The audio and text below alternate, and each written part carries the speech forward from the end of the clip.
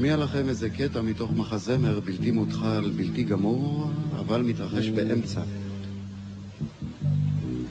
כמו שנהוג במחזמר, יש תפאורה מרהיבת עין, צבעים עזי מבע, כגון ירוק בוהק, תכלת מסנוורת, שפריץ שניים אדום, שלולית בז'. איפה אנחנו? בקיבוץ. יפה. והנה אתם יודעים שלכל חבר בקיבוץ יש פיסת דשא על יד הבית.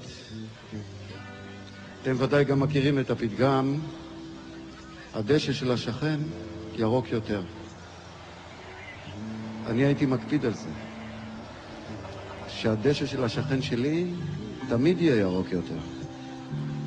שלא ידמה לי שאני שואף למשהו שיש לשכן שלי, שאני נורא רוצה.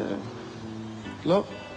הדשא של השכן שלי ירוק יותר, נקודה. מה הייתי עושה? הייתי מצהיב את הדשא שלי ליתר ביטחון. איך הייתי משיג את האפקט המדהים? הייתי מצמיא את הדשא שלי. וכך הדשא שלי נהיה ירקרק ושרוע, והדשא של השכן שלי, מה זה ירוק? שחור. הוא היה משקה אותו, היה מדשן אותו, היה עושה לו את הציפורניים. כל עשב היה עומד אצלו דום מתוח, שפיץ דוקר את הכחלחלה. ואצלי גרסה רפויה, מה שהיית אומר באנגלית soft version, ירקרק ושרוע. אבל מה, אני הייתי יוצא מהבית לעת ערב, הייתי מסתכל על הדשא שלי, הייתי מסתכל על הדשא של השכן שלי, והייתי מבסוט. הדשא של השכן שלי ירוק יותר. אני בסדר, לפחות כלל אחד בחיים אני מחזיק אחד לאחד. כך עוברים עליי חן חן. כך עוברים עליי יומיים שלושה של הרגשת בסדר. בינתיים הדשא שלי זוחל מירקרק לצהבהב, מצהבהב לצהוב, מצהוב לחום. וזה מתחיל לעצבן את השכן בני, חבר מסור מהשורה, שאם יש ספק מי פה חקלאי יותר טוב, אז אין ספק. בני חקלאי יותר טוב, הדשא שלו ירוק יותר. אבל דשא חום זה כבר באמת פצע על הלחיים של הקיבוץ, כפי שאפשר להגיד, וכך בא אליי יום אחד בני, ואומר לי, מאיר, תראה איך הדשא שלך נראה. האה זה בשביל הפה. לא צבע, לא צורה, זרוק עליו טיפת מים, גרגר דשן קימי, ותראה איך שהוא תופס צבע, הוא התכוון להגיד לי כשהוא צובט לי בלחיים. אני מעיף לו את האצבעות מהלחיים, מהאפרסק שלי, ואני אומר לו, לא, בני, אני עושה את זה בכוונה. הוא אומר לי, מה, אתה רוצה להגיד לי שאתה חוסך במים? אני אומר לו, בני, אני חוסך במים, אני מזל דגים, בני. אני לא נרדם בלי קלטת עם פכפוך מים חיים ונוזלים מלבנון. לא, אני רק מקפיד שהדשא של השכן שלי יהיה ירוק יותר.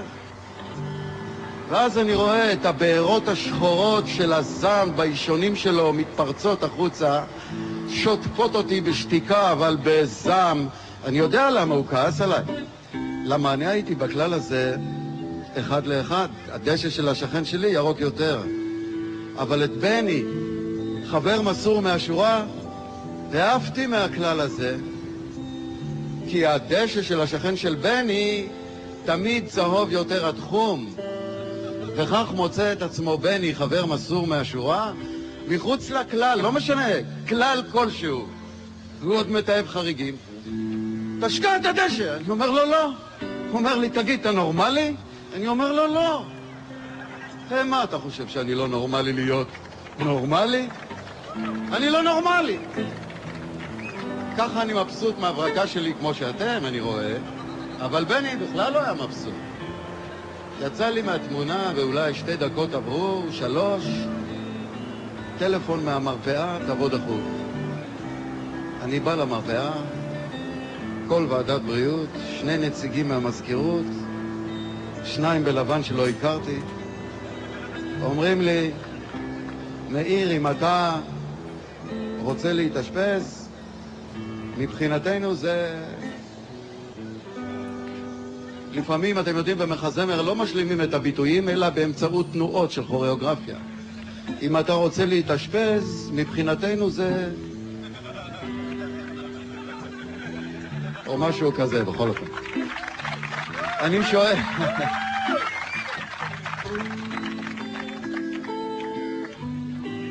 אני שואל, מה חברים, מה, מה רוצים חברים מחבר? אומרים לי, השכן שלך אומר שאתה אומר שאתה לא נורמלי. אני אומר להם, נכון, מה אתם חושבים שאני לא נורמלי להיות נורמלי? אני לא נורמלי. את זה, אני מודה, צעקתי.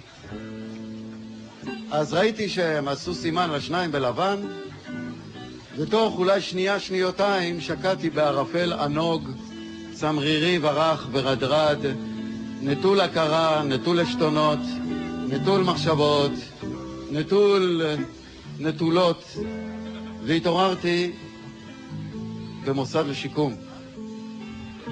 וצריך להגיד לכם, לא היו לי ימים טובים בחיים כמו הימים שעשיתי במוסד לשיקום.